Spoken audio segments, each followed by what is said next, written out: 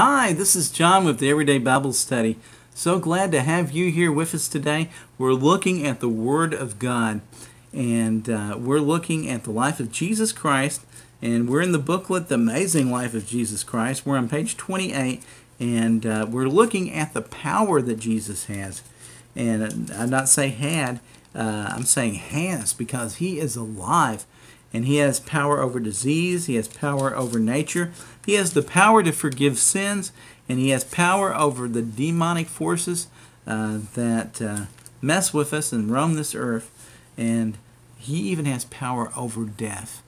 And uh, he proved that when he rose from the dead after he died for our sins on the cross. He rose the third day. But uh, he proved it prior to that, too. And we're going to look at some of those passages.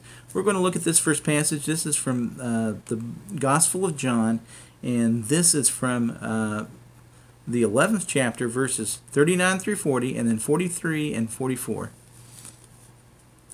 And it said here, uh, Jesus said, Take away the stone. And what happened was um, Lazarus had died and uh, Jesus didn't show up until three, I guess, I'm sorry, four days after his death. And uh, his, uh, his sisters, Mary and Martha, there, uh, were very upset that Jesus didn't show up because uh, they knew that he could heal people of sickness, but they didn't know what else he could do. And it says here, Martha, the sister of him who was dead, said to him, Lord, by this time there's a stench, for he has been dead four days. They didn't have embalming back then. And uh, so uh, the body would start de- decaying. And within four days, there would be a stench because uh, the uh, uh, bacteria that's in the gut uh, starts eating at the flesh. And just the body's breaking down and in death. And there's the, the smell of death is just a terrible smell. And uh, that was occurring because he had been dead for four days. And Jesus said to her, Did I not say to you that if you would believe, you would see the glory of God?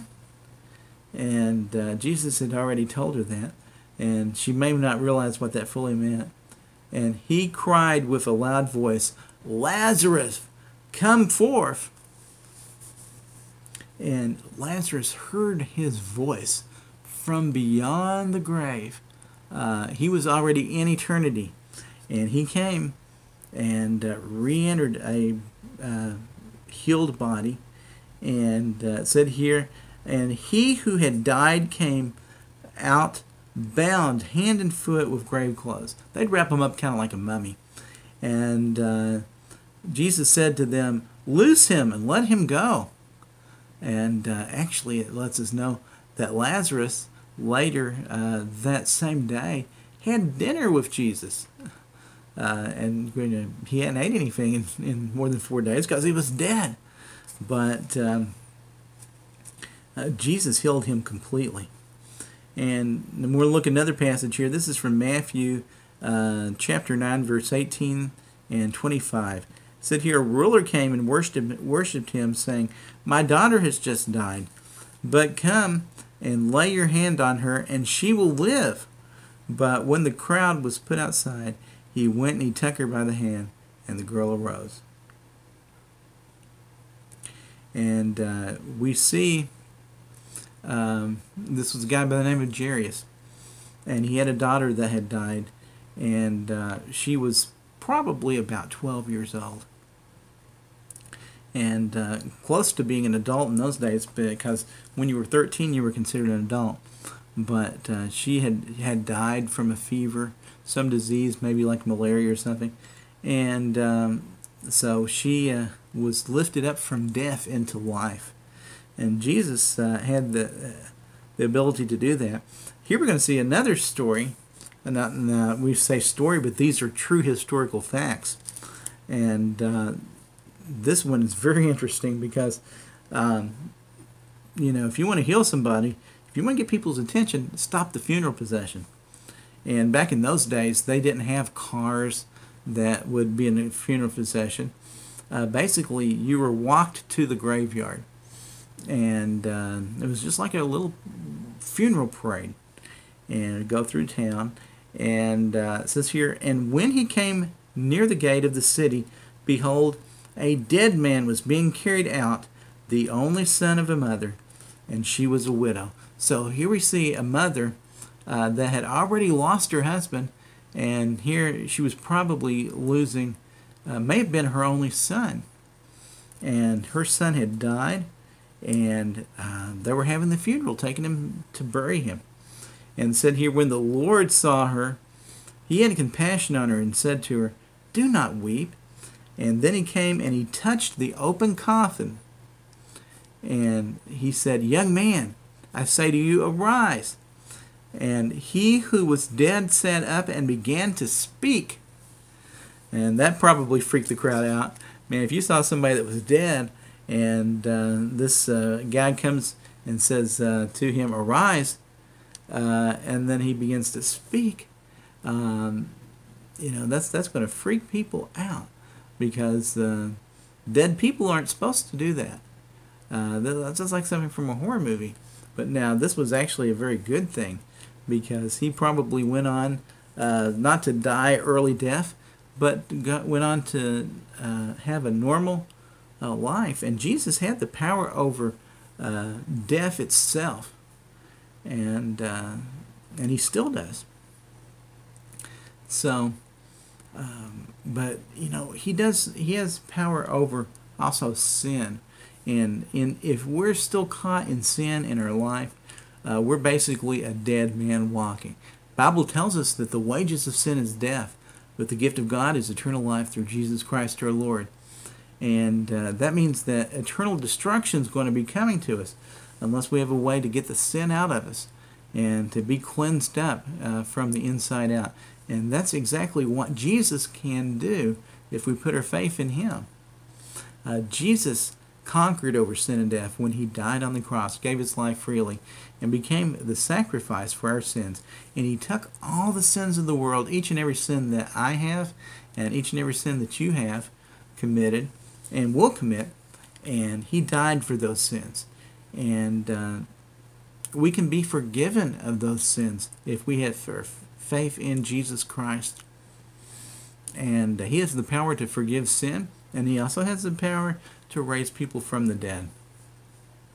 And not only did he have the power to raise people from the dead, but after he died for our sins and was put into a grave, uh, with, that said that the um, when Jesus rose from the dead, the stone was rolled away from the from the grave, and uh, Jesus left. And there were angels there speaking to those that first came to the grave, uh, telling them, um, "Why do you seek the dead here? Jesus, the one that you were looking for, has risen. And uh, Jesus himself rose from the dead. And uh, we're promised that this could occur to us too. Bible tells us that when Jesus comes back for his church, that the dead in Christ will rise first and will rise and be given a brand new body to prepare us for heaven. And then the everybody who's here alive uh, will meet Jesus in the air along with those that first rose from the dead. And that will be snatched up, uh, will be a rapture. And he'll come for his church. And uh, then, uh, and I believe that he's going to come for his church prior to the things that we see in the book of Revelation. And, uh, you know, the terrible things when God brings his judgment upon earth. And I believe his church won't have to go through that. And some people don't don't believe that, but uh, the way I interpret the Bible uh, is that uh, Jesus is going to come to snatch up his church prior uh, to this time, and he will end up destroying the world, but he uh, wants to provide safety and protection for us. He told us that he's going to heaven to prepare us a place, and if he had not been doing that, that uh, he would have told us. And uh, so he wants us to live with him in heaven and have eternal life and not face the punishment for our sins, but to be forgiven of our sin. And he took the punishment himself so that we would not have to face the, the penalty of sin, but that we can have forgiveness of our sin and we can have the guilt removed for the things that we've done that's wrong. and uh, that uh, we could live with Him forever. And uh, I hope that uh, you're believing on Christ.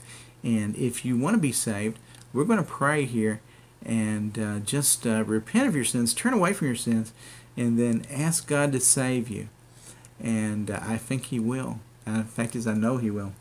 So let's pray. Dear Heavenly Father, we just thank you for your word, and we thank you for this amazing power that Jesus had to overcome demons, to forgive us of our sins, to heal, and uh, to uh, had power over nature, and that he has power over death. And uh, that's a promise that we have that even though our bodies may die, uh, that we'll be given eternal life. We have a soul that will live forever, and we'll get a brand new body. And then, if we have put our faith in Jesus Christ, then He will provide us with eternal life, and that uh, we can live eternally with you.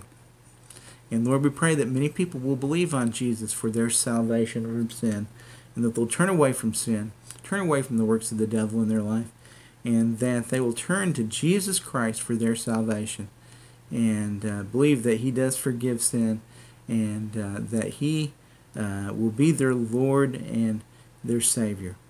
And Lord, uh, help them to cry out to you and ask for this forgiveness and express their faith in Jesus.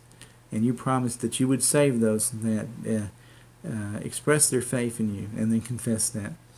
And Lord, we just thank you for many that uh, are going to believe or do believe and have turned to you, cried out to you. And, uh, you know, you told us that um, whenever we cry out to you, that those that call on the name of the Lord will be saved. And we believe that. And we believe that for the individuals that are watching this uh, right now.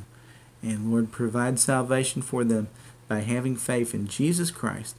This we pray in Jesus' name. Amen. Thank you for joining us for the Everyday Bible Study. We're so glad to have the ability uh, to provide these uh, uh, Bible lessons to you. We want to thank YouTube for hosting these, and uh, it's just a great gift that they've given us uh, to uh, be able to produce these videos, and that they're willing to host these. And um, you know, this is a very special privilege that they've allowed us to share the gospel of Jesus Christ with all that will believe. And uh, you know, if you're seeing this on social media, if this is on Facebook, uh, share uh, this with your friends. Uh, if you're watching it on Instagram or on Google Plus or on Twitter, share this message with somebody, and uh, so that they can know this message too, and so that they may have salvation. Uh, so until next time, this is John with Everyday Bible Study, praying that you have a great day.